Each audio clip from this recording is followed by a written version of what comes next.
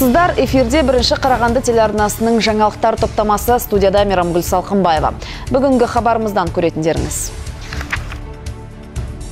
Бүркітті елді мекеннің жұрты үш бірдей кәсіпорыннан төгілетін зиянды қалдықтардан тұншығып жатырмыз деп шу шығарды.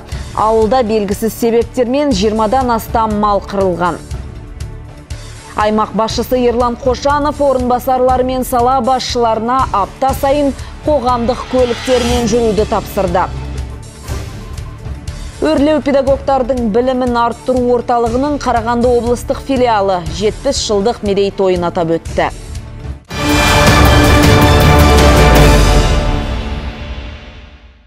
Қарағандыда улы газға тұншыққан халық шу шығарды. Бүркітті елді мекеннің жұрты үш бірдей кәсіпорыннан төгілетін зиянды қалдықтардан аурушан болғанымыз аздай.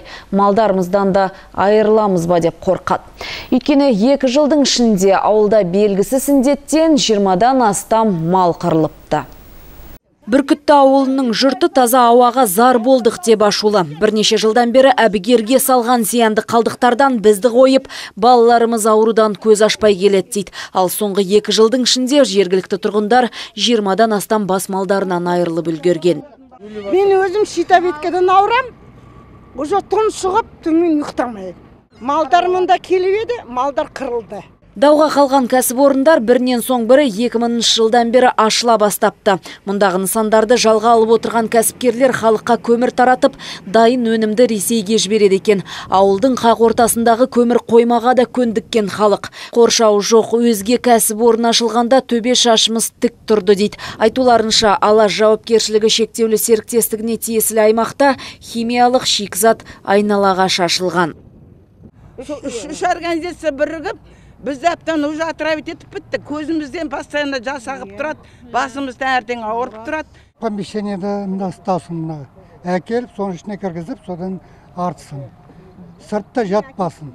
Мәселені бес саусақтай білемін деген жергілікті әкім ауылды қоршап тұрған үш нысанның адамдарға да малдарға да зияны жоқ деп отыр.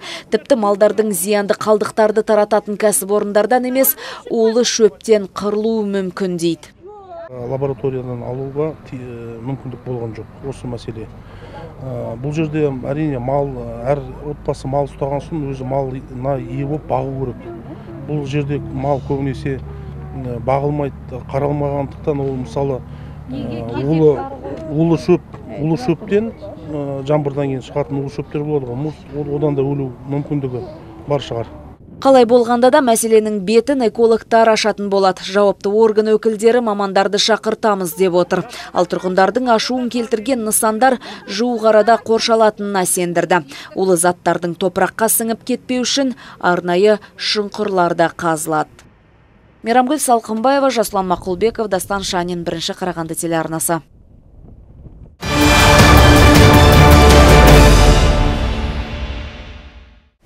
Аймақ басшысы Ерлан Қошанов орынбасарлары мен сала басшыларына апта сайын қоғамдық көліктерге отырып автобустардағы келеңсіздіктерді анықтауды тапсырды.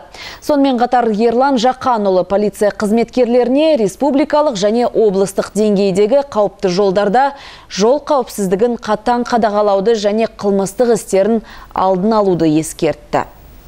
Аппарат, вы сделаете раскидайте по маршрутам наших, вот, начиная от моих заместителей, начальников управления, где нужно и заместители начальника управления, пусть по маршруту неделю раз пусть ездят. Облыс әкімінің айтуынша қоғамдық көліктерде жүргізушілер мен кондукторлардың өздері тиісті міндеттерін орындамайды. Автобустардың тазалығы сала мамандарының мәдениеті бәрі де талапқа сай болуы тиіс. Оған қоса жолаушыларға жолақы билеттерін терминалдар арқылы сату электронды карталарын жасау жұмыстары жүргізіліп жатыр. Автобустарға бейне камералар қою да жоспарлануда. Билайн картел байланыс операторларымен келісім жасалған. Халыққа электронды үлгіде қызмет көрсетуде үш жүздей адам жұмыспен қамтылмақ.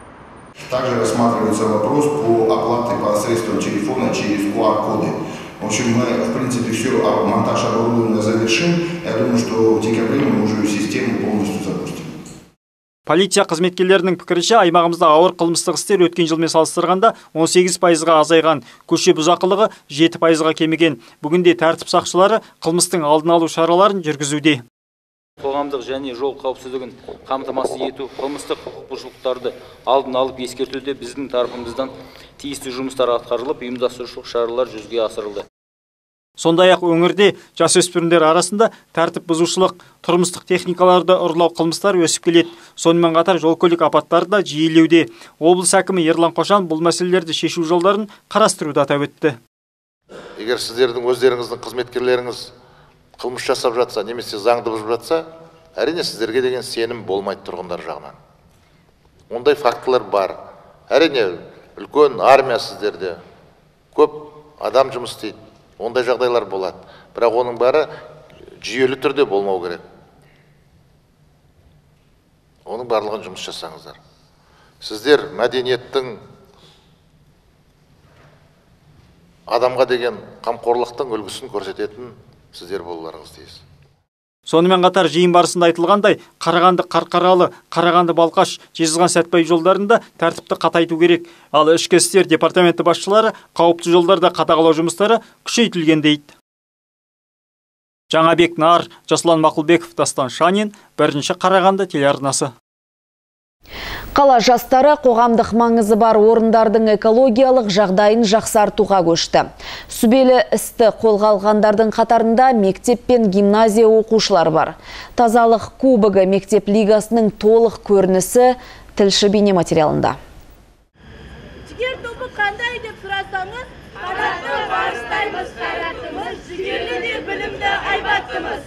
Топтың аты. Аталған жарысқа үлкен дайындықпен келген команданың бірі нөмір 34-ші мектеп оқушыларынан құралған жасақ аталмыш білім ошағында экологияға қатысты сабақтар мен сынып сағаттар өтіп тұратын көрінеді. Сол себептен де қаланың ластанбауына өз үлестерін қосуға әрдайым дайын екендерін жеткізді.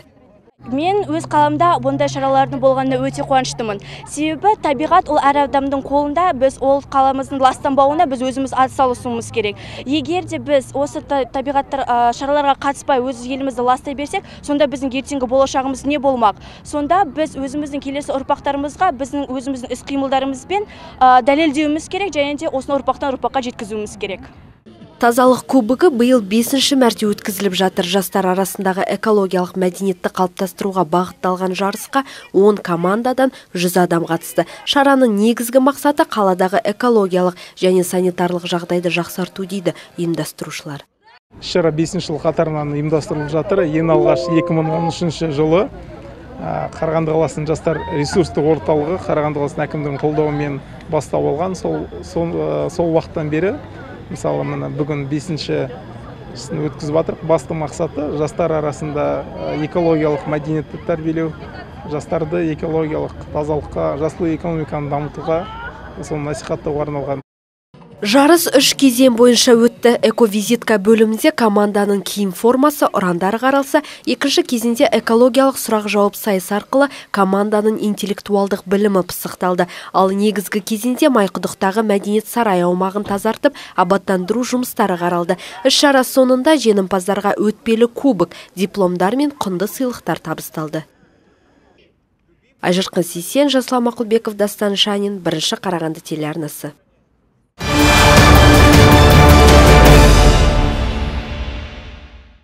Шахарымызға алғаш рет Израиль мемлекетінен ақ халаттылар келді. Мамандардың арқа жеріне сапары қарағандылық дәрігерлермен тәжірибе алмасу мақсатында. Білікті мамандардың бас қосуында науқасты ауруханаға жедел жеткізу жолдары мен жылдам әрекет ету жұмыстары талқыланды.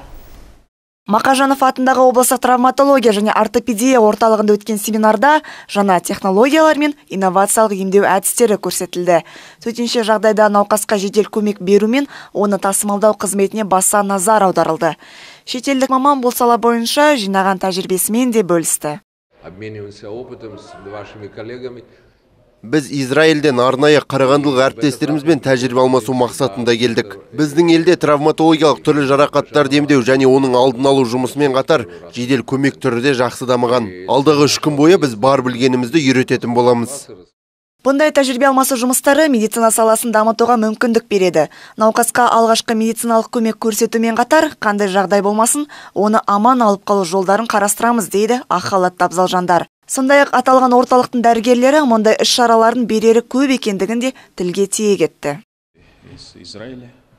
Біз әрдайым дәрігерлердің кәсіби шеберліктерін арттыру мақсатында осындай оқу шараларын өткізіп тұрамыз. Бүгінгі іс шараға облысымыздан жұмылдырылған барлық дәрігерлер қатысты. Арнайы израильден келген мамандармен ақпарат алмастық. Ең бастысы теориямен шектелмей практика түрінде де өтуіне ерекше көңіл бөлдік. Мамандардың сөзінше Израильде медицинада көрсетілетін алғашқы көмек түрі жақсы дамыған.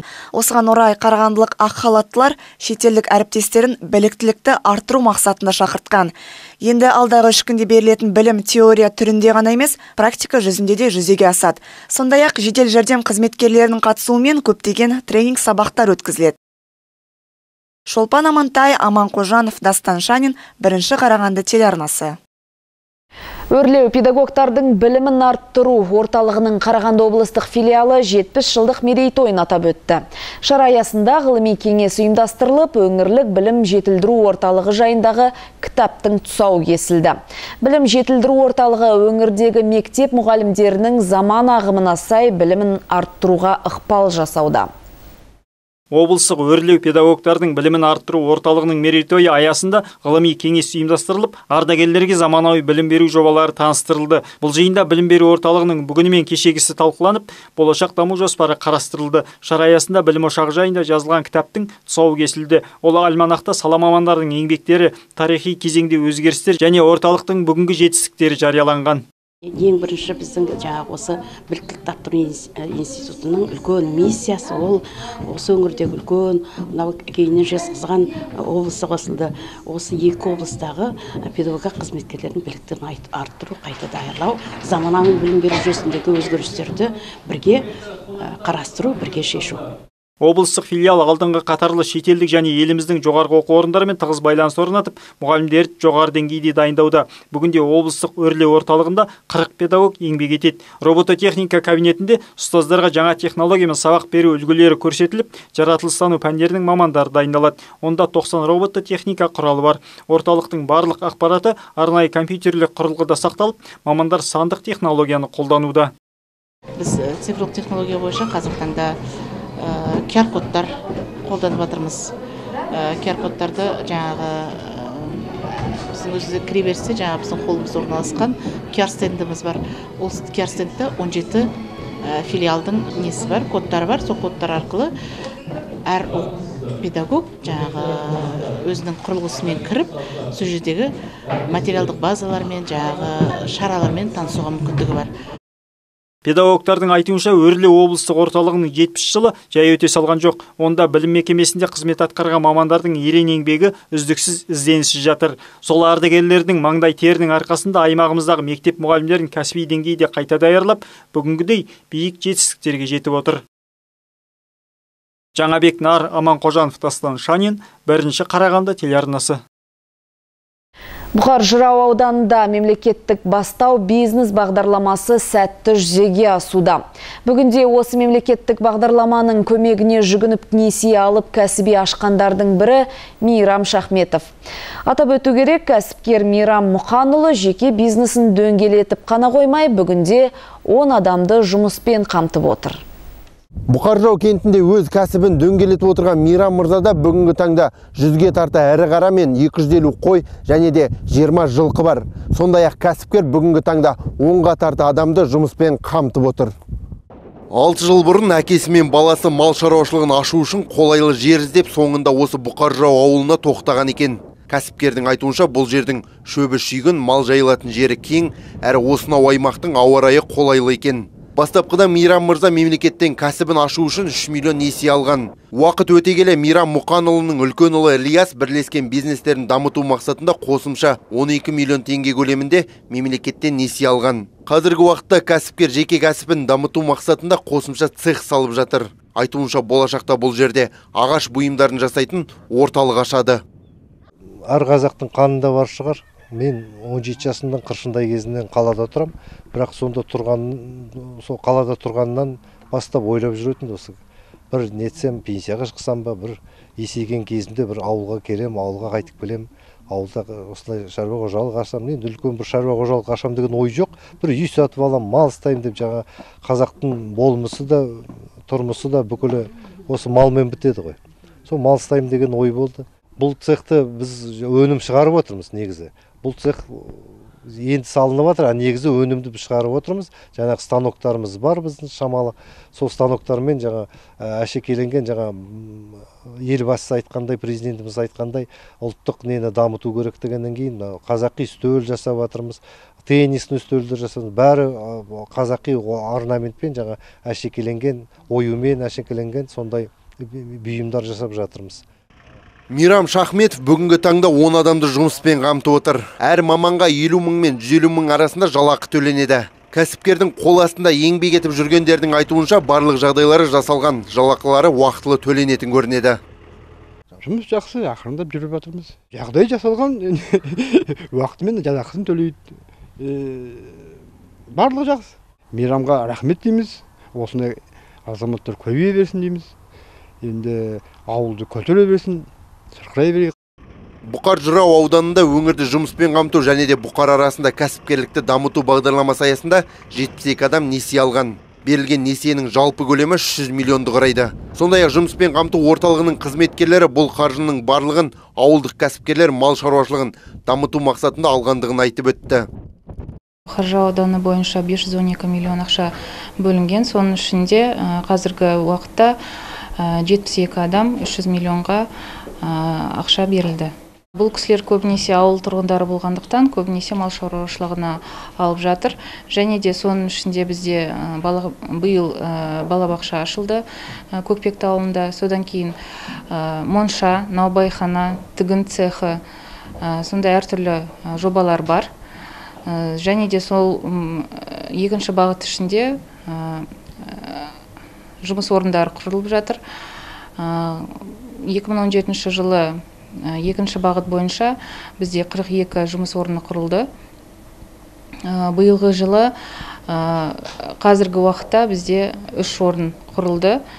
Қазақстан бойынша өткен жылы бастау бизнес бағдарламасы 14 облыста жүзеге асты. Ал биылғы жылы аталмыш бағдарлама еліміздің 160 ауданында және де көптеген қалаларында бастау алған еді. Атап өту керек, биылғы жылы осы мемлекеттік бағдарлама арқасында Бұқаржы ауданында балабақша наубайханасында көптеген кәсіпорындар бой көтерген екен.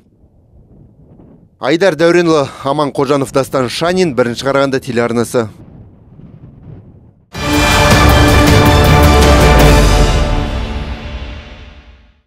Қолжетімді бағаға сапалы бас киім. Қарағандыда ресейлік мың бас киім сауда жәрменкесі жалғасуда. Новосибирск фабрикасында жасалған бұйымдардың өлшемі мен үлгісі сан алуан сапасы жоғары, ал құны қалта көтерерлік. Сатылымға қойылған бас киімдер нәзік жандылардың талғамынан шығары сөзсіз. Ерлерге де таңдау мол. Сән қойлар үшін бұл жәрменке таптырмас базарлық Новосибирск фабрикасының әр бұйымы сапалы. Мұндағы бас киімдердің барлығы арнайы технология арқылы жасалған. Бөріктер құндыз, қоян, түлкі, күзен, андатыр және тағда басқа бағалы терілерден тігілген.